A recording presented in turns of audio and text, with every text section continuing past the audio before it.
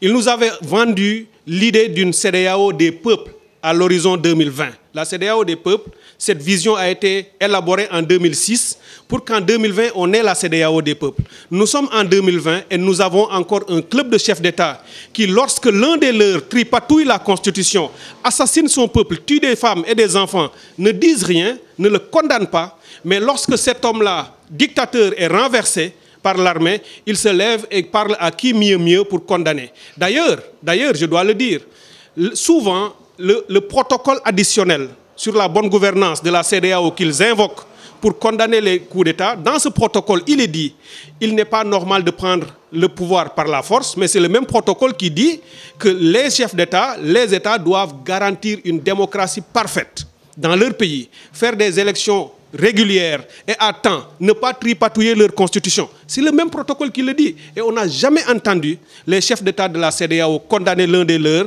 pour avoir changé la constitution et tripatouiller pour un troisième mandat.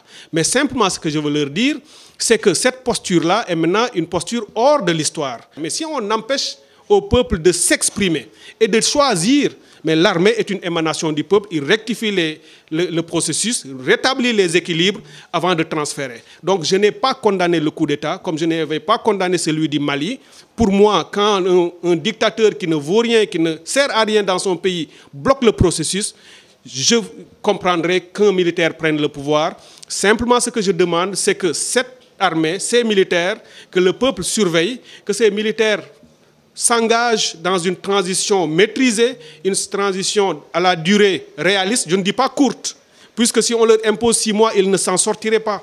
Il faut avoir une durée réaliste pour qu'à terme, on puisse remettre le pouvoir aux civils en ayant mis en place des, des institutions solides pour que la Guinée ne retombe pas dans ce genre de travers. Donc,